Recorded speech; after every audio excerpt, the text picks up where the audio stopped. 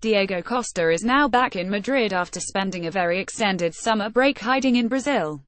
Not wanting to go back and face up to his Chelsea mess, Costa instead hid, picked up fines, and waited for the inevitable deal with Atletico Madrid.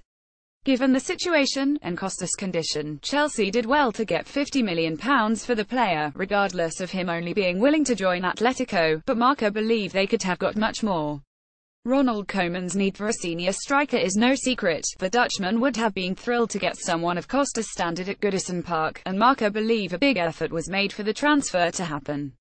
The Spanish newspaper, in their Saturday edition, claim Everton offered 75 million euros for Costa towards the end of the summer transfer window. That figure would have pleased Chelsea, given what they're accepted from Atletico, but Costa was absolutely determined it would be Atletico. Everton couldn't convince Costa to move to Merseyside instead and that's how the story unfolded, at least according to Marca.